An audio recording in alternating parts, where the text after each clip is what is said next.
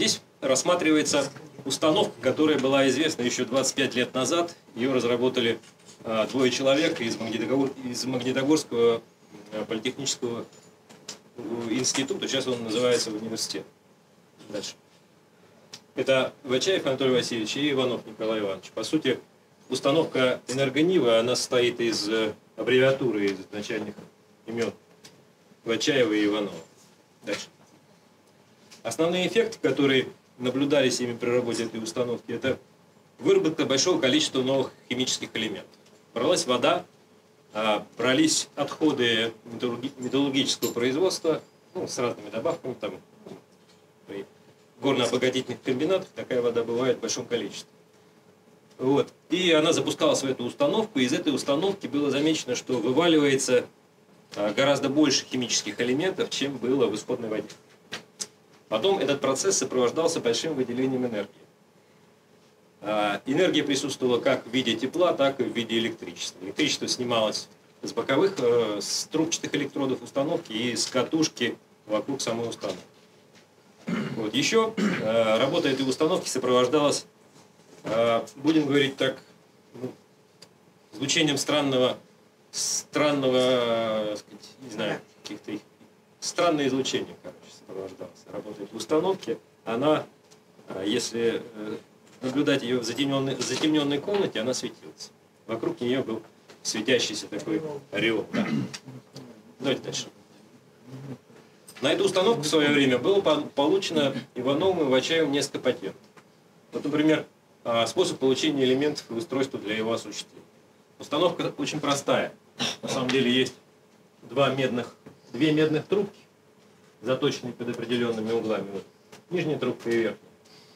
Есть катушка, которая окружает это все. Есть э, диэлектрический корпус и есть два боковых электрода. На боковые электроды подается поджигающий импульс, на трубчатые электроды подается постоянное напряжение и э, прокачивается вода. В этот момент в этой области зажигается плазма и начинаются все интересные эффекты. Можно дальше. Вот еще один патент, но это а, материалы заявки. А, к сожалению, патент не был получен в связи со смертью Бачаева и потом уже Иванова. Здесь уже патент на непосредственно получение электрической энергии. Ну, здесь то же самое практически, то же самое устройство, та же самая катушка, и большая часть энергии получалась, конечно, и с катушки, и с трубчатых электродов. Притом энергия получалась в виде частоты переменного тока 50 Гц. Если говорить о мощности, которая получалась, это примерно, может быть, там 20-30 киловатт электрической и тепловой мощности. Дальше. А, вот мемориальная табличка в университете. Университет сохраняет лабораторию Иванова в неприкосновенном виде. Там видно примитивное оборудование. В общем, все было сделано на коленке и все работало. У них даже не было осциллографа. Дальше. Это вот стенд, такой тоже сделанный на коленке, а, для демонстрации студентов. Это фотография от 2006 года, уже прошло 12 лет, уже, к сожалению, этот стенд разорен, и я ничего не могу сказать. Но мне где-то сохранились образцы даже отсюда. А, вода от металлургического комбината проходит через массу вот таких вот маленьких стеклянных трубок. Это маленькие реакторы, маленькие такие энергонивы. И в результате получается как энергия, так и Э, новые химические элементы. Но ну, в основном это железо. Я потом скажу дальше. Давайте дальше. Вот, я беседовал э, с Самельченко Евгений Яковлевич, доцент кафедры автоматизированного электропривода. Он участвовал э, в университетской комиссии, которые исследовали эту машину. И они подтверждают ее полную работоспособность. То есть университет собирал комиссию, и они смотрели, что машина работает, да, действительно вырабатывается огромное количество новых элементов и вырабатывается электроэнергия. Но вот что сохранилось от них? От них очень мало сохранилось, потому что они были достаточно скрытные люди, да, и а, практически схемы и фотографии они не публиковали. Остались только материалы рабочей тетради.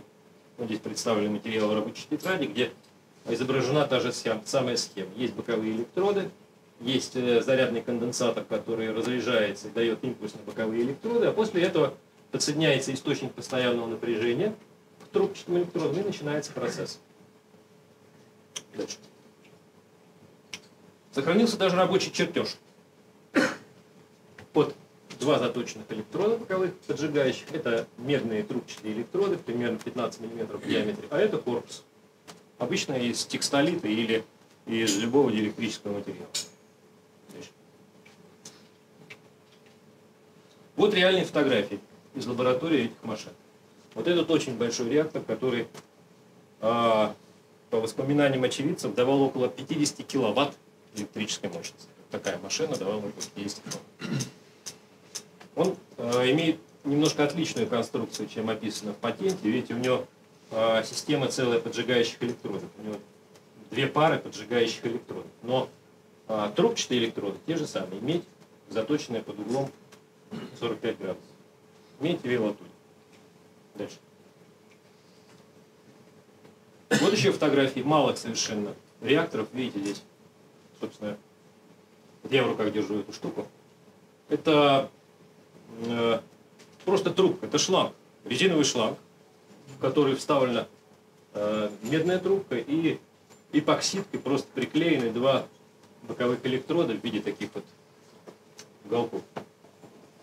Вот э, крупная фотография медного электрода. Как видите, еще есть такая особенность. При работе этой установки медные электроды очень мало изнашиваются. То есть если вы будете проводить обычный плазменный электролиз, да, у вас электроды тоже сгорают. Здесь такого не происходило, она могла работать неделю. Дальше. Значит, что еще интересного наблюдалось? Значит, часть энергии генерировалась в катушке. Вот эта вот катушка. И вот эта вторая часть катушки. Это отверстие для поджигающих электродов. Но а, сама катушка намотан на железной трубе.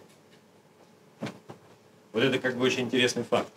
Как на железной трубе намотана катушка, и в этой катушке генерируется ДС. Притом генерируется очень много. Дальше.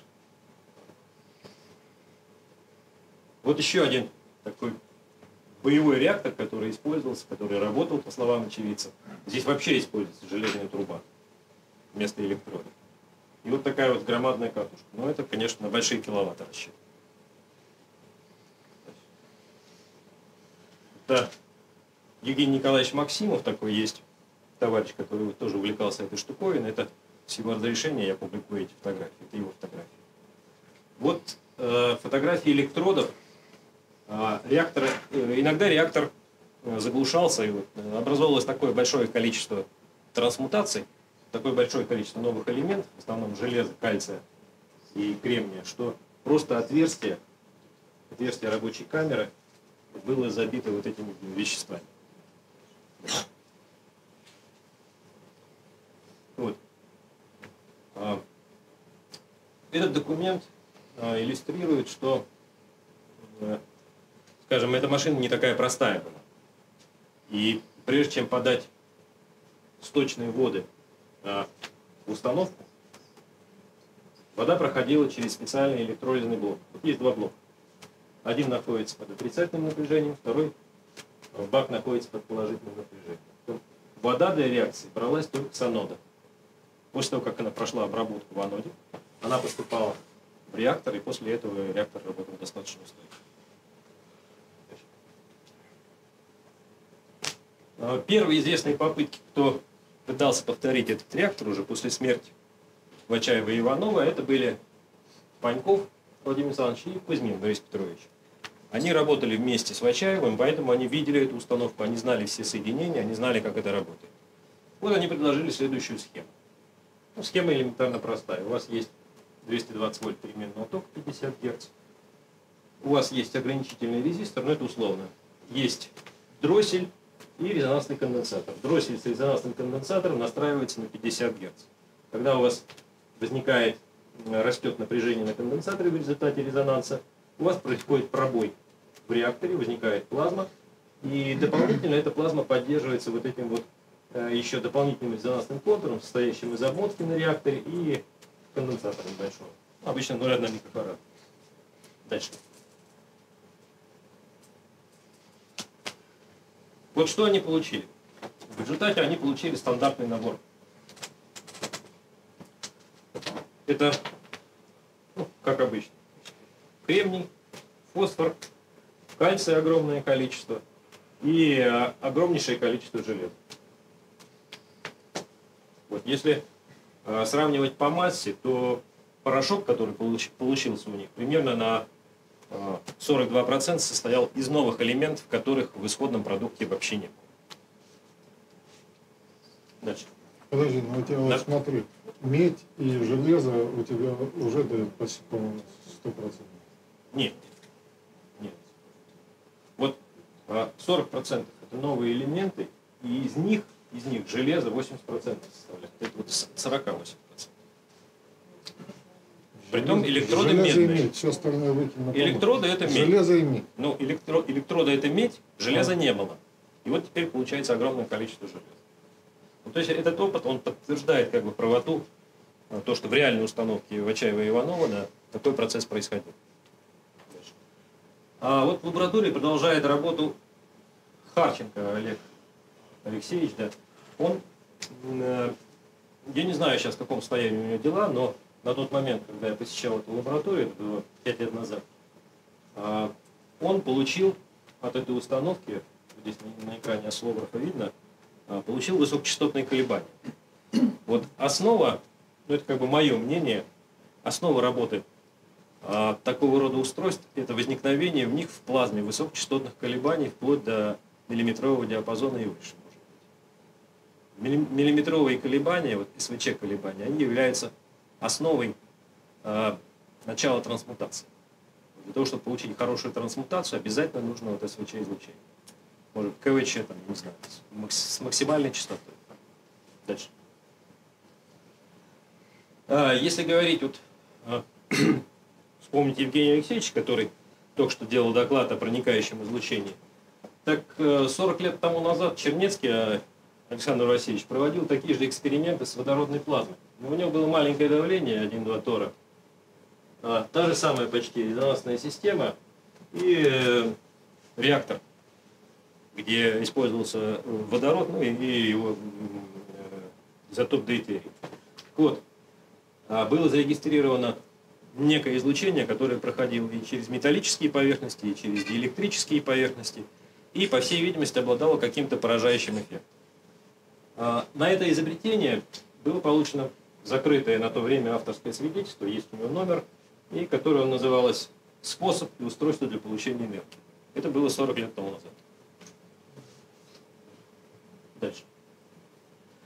Ну вот здесь упоминали еще Колдомасова Сан Иванович, который был участником нашей конференции, который уже, к сожалению, с нами нет. Ну, вы ячейку Колдомасова знаете, да? Это тоже, по сути дела, э, некий плазменный разряд в потоке жидкости. Вот у вас есть насос, у вас есть некое сопло, и на выходе сопла э, наблюдается очень сильная электризация, свечение э, разряда и э, возникновение электрического тока. Дальше. Колдомасова на эту тему было получено несколько патентов, которые называются и ядерный реактор, и устройство для получения энергии, которые очень и очень похожи на энергонему. По сути дела, тоже жидкость проталкивается через маленькое отверстие, и в этом отверстии маленьком происходят все чудеса. Разделение заряда, возникает ускоряющий потенциал, и по мнению Колдомасова, ускоряющий потенциал более 10 киловольт, он приводит даже 400 киловольт, приводит к возникновению классических реакций ДД-синтеза. Дальше. Вот еще одна репликация Колдомасова, но это уже электрогенерирующее устройство. Вот у меня э, его ячейка, через которую проталкивается жидкость, сопло лаваля, и э, стоит магнитная катушка. По мнению Колдомасова, в магнитном поле происходило разделение зарядов положительных и отрицательных. Поэтому у него есть два электрода. Один, который э, служил приемником отрицательных зарядов, другой приемников положительных зарядов. Было такое устройство реализовано или нет, я не знаю. Александр Иванович мне про это не говорил. Номер есть. Но номер есть, и э, само вот устройство очень похоже на энергониву. То есть все как бы ходят вокруг и около. Дальше. Есть, э, следует упомянуть еще одно устройство, которое было в 80-е 90-е годы, разработано э, на Дальнем Востоке Грицкевич. Грицкевичем э, во Владивостоке. В Владивостоке жил, да, и там было сделано. Вот э, Грицкевич предложил некое устройство, и опять же, по его словам и по словам его сына, я с его сыном встречался в Таллине, он продолжает поддерживать патенты и продолжает работать в этом направлении. Вот. А по его словам, устройство генерировало около 1 мегаватта электрической энергии. Притом имело размер э, бублик э, 2 метра в диаметре. Дальше. Вот, это устройство Грицкевич. Это некий тор из а, диэлектрического материала. Внутри тора есть а, разгоняющие катушки, разгоняющие катушки. И есть катушки силовые, которые снимают электричество. Значит, а, как по замыслу должна была происходить и происходила эта работа? Есть палладиевые электроды. А, внутри а, тора находится жидкость, смесь обычной легкой воды с тяжелой водой. Палладиевыми электродами происходит, производится электрический разряд. Ускоряющими катушками эта вода разгоняется по кругу этого бублика, и дальше возникает какая-то магия, и в силовых катушках начинает наводиться ЭДС. За счет чего она наводится, есть только догадки. Но, тем не менее, такое устройство, говорят, было сделано, сам я его не видел, по словам сына и других людей, что это устройство было сделано. И что интересно, некоторые утверждали, что в силовых катушках наводилось не переменное поле, а постоянный ток. Вот это тоже очень удивительно. За счет какого механизма может наводиться постоянный ток. Дальше. Ну вот это сын предлагает такое устройство сделать на основе изобретения отца, предлагает блок двухмегаваттной мощности. Дальше. Ну вот это уже наши эксперименты. А, я вот честно очень долго ходил вокруг этой установки, никак не мог приступить. И вот благодаря Арапису, Юрию Леонидовичу, который пришел ко мне и говорит, вот у меня есть готовая установка, говорит, давай попробуем. Я говорю, ну давайте попробуем. По сути дела, вот он мне дал вот этот вот реактор, это реактор Ратиса. Мы его запустили, да, и сразу получили результат. Вот по схеме Панькова-Кузьмина. Дальше. Вот. Сразу получилось на выходе огромное количество железа. Был сделан анализ, вот этот железо обычно, он притягивается магнитом. Просто видно, осадок притягивается магнитом. Спутать ничем нельзя. Это не никель, не кобальт, это железо. Дальше. Был сделан анализ, да. И получено а, огромное количество новых элементов, основным из которых, конечно, является железо. 43% в осадке получили железо. То есть очень хорошее совпадение с, результатами Кузьмина и Панькова. Алюминий еще. А, алюминий, да большое количество алюминия, но алюминий я отношу здесь, понимаете, так очень аккуратно, потому что в электронных микроскопах алюминиевая подложка. Если лучом промахивается, попадает в алюминий, да, и у вас получается алюминий. Дальше. А такие же результаты, скажем, были получены у Степанова Игоря Николаевича. Он тоже сконструировал похожий реактор, но его реактор отличался тем, а, что у него было больше витков в катушке, она была сделана в виде медного медной шины, и сам корпус был сделан из э, полиамида.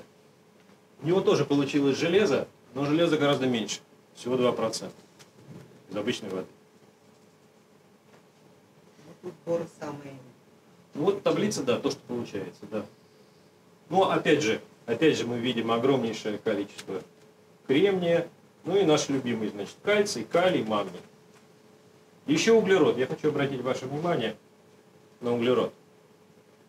Вот можно, конечно, списать, что это горел корпус, потому что из полиамида корпус сделан. Скорее всего, так и есть. Скорее всего, так и есть. Но в других экспериментах углерод тоже получается в большом количестве. Дальше так. Ну, карбиды образуются. Ну да, вот это вот уже как бы наша установка от 17 года, с прошлого года. Проводили, ну, тоже вот этот вот маленький конденсатор. А, здесь рентгеновские пленки были поставлены. Вот. А, и отличие от предыдущей установки, то, что были сделаны вставки из титана, чистый э, юдидный титан.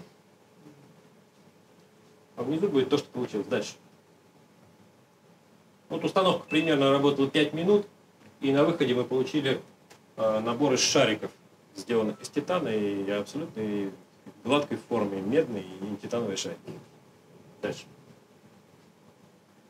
А, был проведен анализ на хорошем оборудовании, это Исман Черноголовка, И что было замечено? Было замечено, опять же, огромное количество углерода. Других элементов не было. Ну, кислород я не беру, потому что это бы, да. Огромное количество углерода. Дальше. Ну, Там медь еще сверху. находится. Ну, это медные электроды, там куски можно списать на них, да. Вот э, на рентгеновских пленках вот такая вот картина. Рентгеновские пленки были засвечены, Путь да. И вот такое вот облако. Размером примерно, э, не знаю, миллиметров 5. То есть очень большой. Засвет. Дальше. А, были использованы, мы экспериментировали с электродами из чистого циркония. Та же самая установка, та же самая электрическая схема, только электроды из чистого циркония. Здесь, видите, картина очень богатая. Появляется большое количество свинца, цинка. Ну, если более подробно, это как бы это ин- интегральная картина вот по всей области. Если более внимательно присматриваться, там э, обнаруживается еще большое количество других элементов. Но я не буду сейчас писаться. Это там и фосфор, и хлор, и титан, и железо, там все, и натрий. Там. Дальше. Рентгеновские пленки, которые были там же установлены, э, выявили, что на них образовались вот такие вот следы в виде, в виде гусениц. Ну, классические, мы, наверное, все их знаем, да, мы их все видим. типа. Вот это вот, А, это да. Это вот такая вот гусеница. Микроскопом. Да? Сейчас буквально. секунду. А, а, вот, значит, еще такая была модификация реактора. Дальше. Электрическая схема, когда бабахали большой конденсатор. А, что было замечено? Было замечено, что а, электроды нужно тренировать, чтобы получить правильный результат. Вот сразу вы ставите медь, ничего не получается. Нужно тренировать. Нужно их минут 10-20 приучать к этому делу. После этого они работают хорошо. Иначе у вас реактор просто разрывает в дребезги. Дальше. Сколько времени осталось? Ага. Ну, в общем, в этой схеме, которую я показал, что мы получили? Мы получили генерацию коротких электрических импульсов. То есть машина начала генерить. Она потихоньку стала оживать. А Генерацию получили на протяжении нескольких секунд. Вот здесь, к сожалению, плохо видно. Импульс, а, напряжение, импульс тока имеет длительность полмикросекунды. И вот такое длилось несколько секунд. Дальше. Еще я хочу сказать, вот это вот, как бы, когда у нас закончились большие пластиковые корпуса, все взорвались, мы перешли просто на э, трубку из э, силикона. Такой стали прос- простую конструкцию, да. И э, сделали масс-спектрометри- масс-спектрометрический анализ на время пролетном спектрометре. И что мы получили? Мы получили, скажем, э, изрядное количество редких земель. Это самарий, тербий, э, диспрозий и так далее. И вот здесь вот э, элементы с массами от 201 до 209 это непонятно что. Это может быть ртуть, это может быть талий, это может быть свинец. В общем, они не идентифицируются. А что имеет массу порядка 440, 450 и выше, это вообще непонятно. Тем не менее, на выходе этой установки получились вот такие массы. Еще два слова, да? Я хочу сказать, что еще м, был проведен достаточно точный анализ. Есть стандартная медь. Известно, что у нее есть К-линия, там альфа, это самое, К и альфа-линии. Да, они имеют там, скажем, у у меди это э, около Восьми кап. 8 КФ, да, еще э, К альфа и К бета где-то там 8,8 КФ. И есть э, линия альфа. Вот она, собственно говоря, красная. Это Но- уже L, L серия. Ну, L, L, а, L, да, L, L-линия, да, там тоже есть. альфа и. Вот. Э, То, э, та медь, которая получилась в эксперименте, она отличается от реальной меди. Вот медь, полученная в эксперименте, она имеет еще дополнительные линии. То есть это какая-то ненормальная медь. Дальше. И то же самое можно сказать по железу. Ну, это укрупненная картина. Вот, та же самая картина, но просто растянутая. да. Вот видно, что у нее есть вот этот пик, и видно, что у нее э, сильно поднята вот эта сплошная часть. И то же самое можно сказать про железо. Вот есть картинка эталонного железа, и есть картинка искусственного железа. Они отличаются. А здесь э, что синее, что красное, вот да. А красная это просто метка. Вот. Эталонная. Синий это эталонная метка. Да? Да, это вот метка просто. Вот, вот, вот железо, вот реальный пик у нее вот такой, а вот искусственного железа, у него вот линия вот эта вот э, низкоэнергетическая, она очень сильно увеличена, и увеличена вот эта вот постоянная составляющая, сплошной спектр. Не, ну то, что вот такой гигантский всплеск, это, конечно, такой, очень, да. интересно. То Так, есть, ну, если времени нет, да, я на этом как бы могу закончить, да. Давайте, там- да- давайте это самое. да, если интересно, я могу потом еще дальше Да. рассказать. А, на, на, на, а вынесем, так сказать, еще на, Хорошо. на обсуждение, так сказать, по- поговорим там на круглом столе. Вот странное излучение образовалось, оно дырявило э, вставки второпластовые. В реакторе были сделаны второпластовые вставки, когда я его стал просто ножиком счищать, и оказалось под ножиком вот такие вот штуки. Они насквозь или... Нет, не насквозь, они просто там застревали. Там просто такие каверны выеденные. И как глубоко тогда уж... Ну, миллиметра, может, полтора. Не глубоко. Понятно. Так, ну что, давайте остановимся, потому что регламент исчерпан. Значит, ну, буквально несколько вопросов, покороче, если можно. Значит, ну, Вов, давай, э, я, я question. Uh, Thank you, S- S- Sergey. Um, couple of questions, if I may. Um, A couple, it's, it's a, one question, one question. uh, can I think of someone else? Or select. Окей. Very much. Any, another question. А, э, другие вопросы есть, нет? Все понятно. Ну, давай. Как тебе Ну, в общем, работать надо. Uh, the, the pulses, the EM pulses, you saw the short duration ones. Uh, do you know the polarity? Положим. Positive polarity. А, вот pulses. И, и длительность импульса. Нет, вот pulses. Pulses on uh, tube electrodes or ignition electrodes. Uh, the ones you showed in the graph with the short dura- duration coming from Ah, the reactor. yeah. Where, where, where they laid. Uh, positive pulses. Okay. Um, where did the aluminium come from? I didn't quite ca- get that. You said like 20 something percent aluminium. Was that synthesized? Я не понял. Okay. Sorry. Um, you don't um, know the isotope of the iron? More slowly, more slowly. You don't know the isotope of the iron? А, а изотопов за... э, э, это- Состав. нет, изотопный состав э, железа, что он Yeah. спрашивает? Нет, I don't no, know. no. That would be useful. No answer. Um, the, the spheres, um, have you got very good SEM images of their structure? I want to know if they were like molten drop spheres Это or не, they не, actually had a не, в structure. этой сфере э, не может быть э, плавления, так сказать. Oh, maybe, maybe uh, Размеры, the размеры. spheres Размеры какие? created by maybe molten, molten process. Yeah. Okay. Maybe. Um, Maybe I don't know exactly. Yeah. the the strange radiation tracks uh, on one of your uh, images, you had some blue lines. Was, was that added just for visual, so Visual. that you could see? No, no, no. Uh, some uh, some tracks we can see visually, and uh, in other tracks uh, we need a microscope. Okay. Uh, and um, you you mentioned very stable elements. There was very heavy elements produced. It's, it's a question. It's uh, understandable. It's question.